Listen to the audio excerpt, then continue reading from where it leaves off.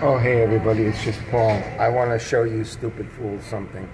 And you better pay attention because at least you have somebody here that has a minimal amount of understanding of history, while virtually all of you, my subscribers excluded, of course, uh, many of them are schooled in history.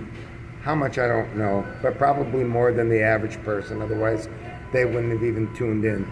Now, folks, I want you to take a look at this and I want to show you how might equals right. Very important you understand this. Okay, here we go. Here is a photograph of probably 1937 or 1936, 1938 Germany, where everybody was being told that they were part of the superior race and they all knew better than every other country.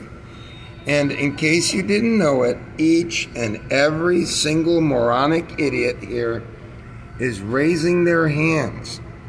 Do you understand? With the exception of me. This is me right here. Do you see that? You see how he's crossing his arms? He refuses to raise his hand. Now, could he be Jewish? Absolutely. Could he be somebody who just didn't agree with all of this? Well, certainly he was. We just don't know what his background was.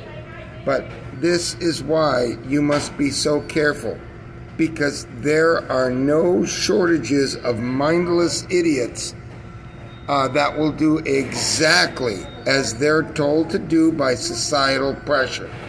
That is a famous picture, folks, okay? I'm showing you that because it is a famous picture.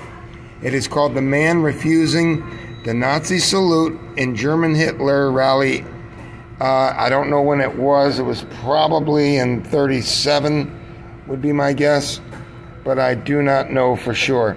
Regardless, there you have it. Take that to heart. Bye.